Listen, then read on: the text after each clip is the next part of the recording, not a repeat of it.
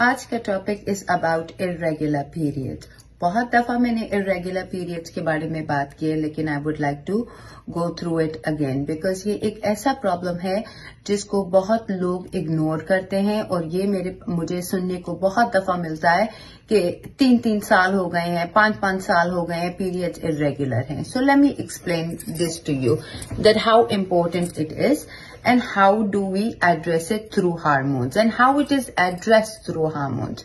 So so, जो आपके period अगर वक्त पे हर महीना टाइम पे नहीं होते उस डेट पे नहीं होते हम उसे इरेगुलर पीरियड्स बोलते हैं और इसका मतलब कि ये हार्मोनल इम्बैलेंस है and that really needs to be addressed number two दूसरी बात आ जाती है जो पीरियड्स का पहले से फ़र्स्ट फिफ्टीन डेज़ जो होते हैं, उसमें आपका एक हार्मोन एस्ट्रोजन डोमिनेंट होता है। सबसे मेन हार्मोन होता है, उस वक्त वो इस्ट्रोजन होता है।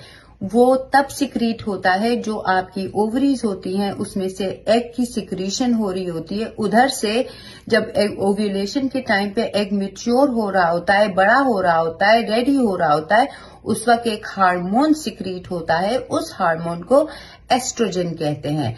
एस्ट्रोजन उस वक्त आपकी यूट्रन लाइनिंग को रेडी कर रहा होता है। पंद्रह दिन तक ये काम होता है। उसके नेक्स्ट पंद्रह दिन एक नेक्स्ट हार्मोन प्रोजेस्टेरॉन आता है और वो टेक ओवर करता है और आपकी जो यूट्रन लाइनिंग है, यूट्रन की जगह है, उसको हिफाजत में रखता है। अगर तो प्रेगनेंसी ठहर जाती है, जो मेच्योर होता है, एक चौदह फ़र्स्ट डे में ओव्यूलेशन के टाइम पे वो स्पर्म के साथ जाके मिल जाता है तो प्रेगनेंसी हो जाती है।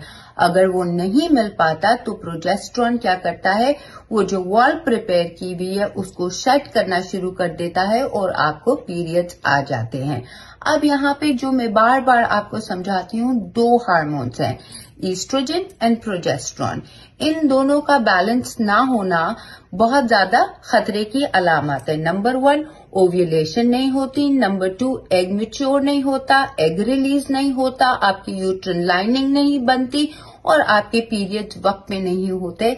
और आपकी प्रेगनेंसी यहाँ से गड़बड़ होती है। जब आप लोग मेरे पास आते हैं पीरियड्स तो हो रहे हैं, लेकिन हमारे एग मिच्योर नहीं हो रहे तो अंदर की कहानी ये है कि या तो प्रोजेस्ट्रॉन रेडी नहीं कर रहा काम, कर रहा ठीक से, या तो एस्ट्रोजन आपका हार्मोन काम नहीं कर रहा। तो ये दो मेन हार्मोन्स हैं जिन पे बहुत तवज्जा करना है। If you have this problem address it now don't ignore it pregnancy की मेन चीज़ आपके हार्मोन्स को बैलेंस रखना है। खुदा हाफिज।